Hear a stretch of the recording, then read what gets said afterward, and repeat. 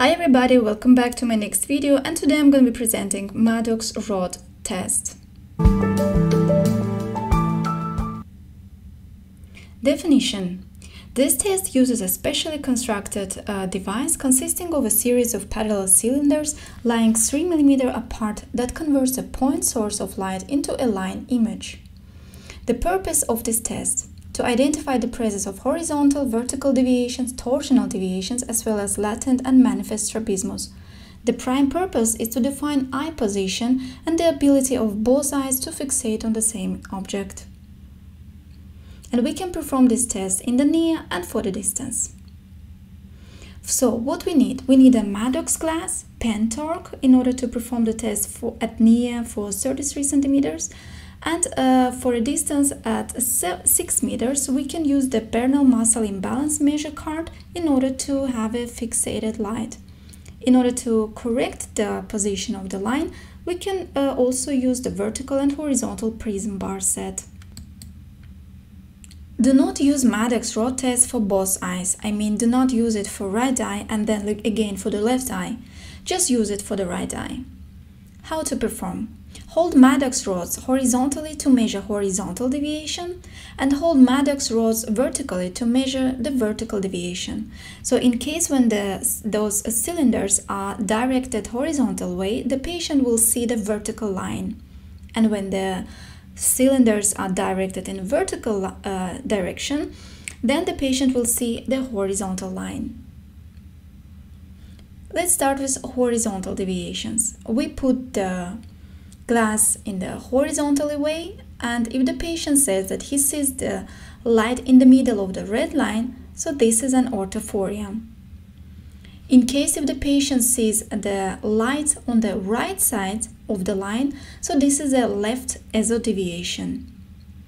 In case if the patient sees the light on the left side of the red line, this is the left esodeviation.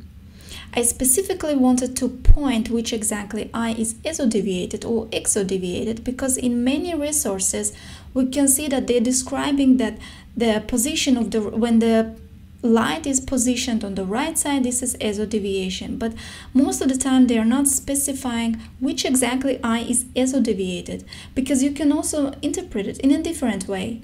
When we say here for example the light is on the right side and this is a left exodeviation but this is in a relation to the right eye because you can also describe it the way that the right eye is exodeviated in relation to the left eye.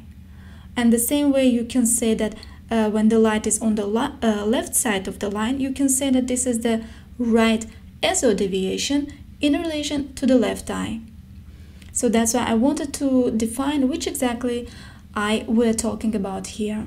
So this is the left exodeviation in case of the light on the right side and the left eso deviation in case if the light on the left side. For vertical deviations, we put again the red glass the way that those cylinders are directed vertically and the patient sees a horizontal line and when the light is in the middle of this line this is again an orthophoria.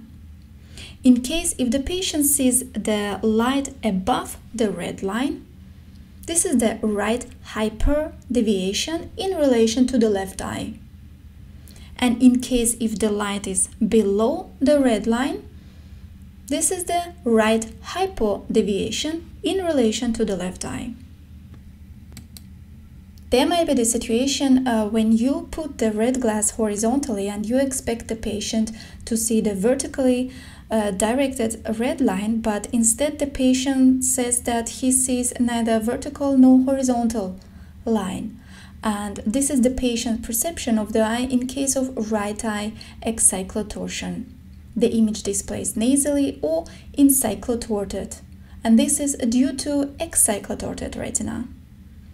And here you just ask the patient to turn the Maddox rod uh, counterclockwise, which will place the red line vertically. And this way you measure the degree of torsion. And in our image, for example, we can see a 15 degree excyclotorsion.